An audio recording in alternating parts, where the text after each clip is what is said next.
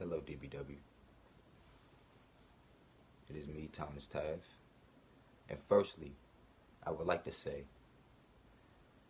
thank you to the management for giving me the opportunity to be part of this company and giving me the opportunity to showcase my talent and my skills on a great platform.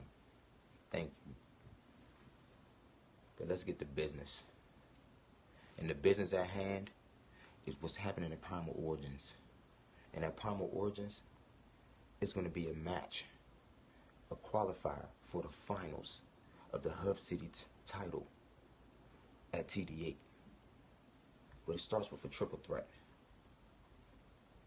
You got the Blaze, Ace Christian, who's been a mainstay, held multiple titles in the company, but he's going through some things.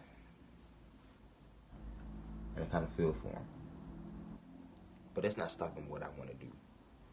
And that's not stopping my goal and what I want to achieve. Then there's Graves. Our paths crossed before. My debut match. Danger Zone. I don't really want to speak too much upon that. Never here or there. Neither neither one of those men are going to stop me from accomplishing my goal. And my goal is to revolutionize DBW. And you're probably wondering, how can I do that? And I've only been here for just a short time. But I've always told to make an impact, you make it immediately. You don't wait. You don't hesitate. You don't wait till somebody tells you to do something. You do it on your own. You take initiative. And that's what I'm going to do at Primal Origins. I'm going to take initiative. And I'm about to make this era the breakout era.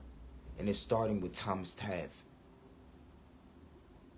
So everybody be prepared for what I have in store for you all. Starting at Primal Origins.